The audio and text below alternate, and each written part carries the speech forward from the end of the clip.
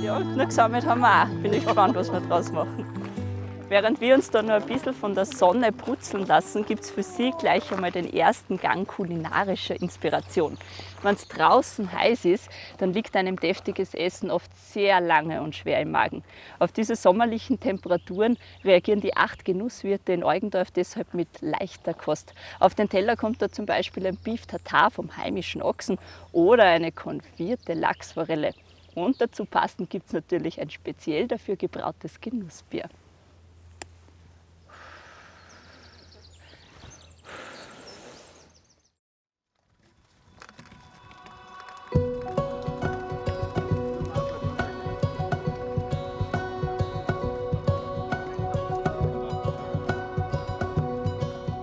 Beim Gastagwirt in Eugendorf leben die Ochsen auf der Weide und die Hühner scharen im Gras. Der Gastagwirt ist einer der acht Eugendorfer Genusswirte. Regional und bio. Den Tieren soll es gut gehen. 2015 wurde der Stall neu gebaut. 700 Jahre gibt es den Gutshof bereits. Vor zehn Jahren ist ungefähr der, der Gedankensprung gekommen, ob wir von der Milchwirtschaft weggehen sollen und uns auf was anderes spezialisieren. Und da ist eben dann das gewachsen, dass wir auf einen Mast umsteigen, da wir die Produkte einfach viel besser im Wirtshaus auch vermarkten können. Dann sind wir halt auf die Suche gegangen, welche Rassen das wirklich gibt, die was dann auch zu dem Konzept passen, die was wir, das was wir wollen. An die 600 Hühner legen Eier für den Verkauf und das Gasthaus. Auf der Weide stehen 36 Pinzgauer Ochsen. Ein fester Bestandteil auf der Speisekarte Beef Tartar mit Rucola-Salat. Und das bereiten Wirtin Lea Sommerer und Küchenchef Raphael Hacker frisch zu. Das Fleisch stammt aus der eigenen Landwirtschaft. Also wenn man daheim das nachkochen will, dann muss man schauen, dass das alles frische Produkte sind, wo man weiß, wo das Fleisch herkommt und dass das halt einfach der Top-Qualität ist. Und regional ist sowieso an vorderster Stelle. Zu Beef Tartar empfehlen wird Fritz Meislinger und Wirtin Lea Sommerer das Eugendorfer Genussbier.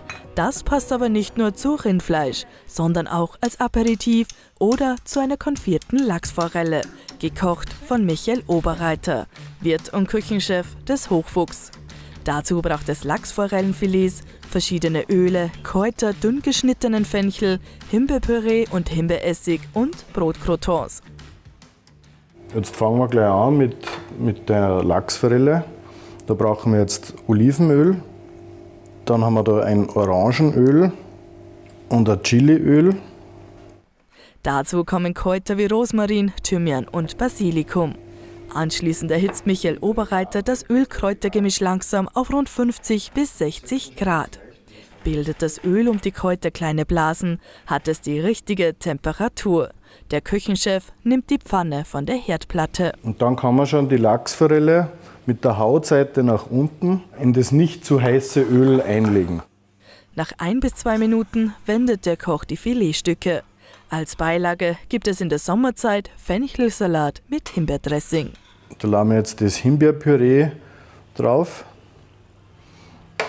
dann ein Himbeeressig Besonders dünn werden die Fenchelstreifen, wenn sie mit der Brotmaschine aufgeschnitten werden.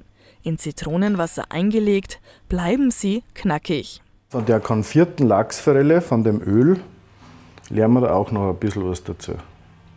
Mit Salz und Pfeffer würzen und gut verrühren. Anschließend die Lachsforelle aus der Pfanne geben und ebenfalls salzen. Dann wird angerichtet. Dieses Gericht ist wandelbar je nach Saison. Man kann das auf einen Spargelsalat oder gebratenen Spargel servieren. Demnächst kommen dann die Schwammerl. Da ist es möglich auf sortierte Schwammerl. Wenn man es als Hauptgericht macht, gibt man einfach ein paar Kartoffeln dazu und einen Sauerrahm, wenn man will. Im Herbst kann man das auch ohne weiteres mit einem Kürbis kombinieren.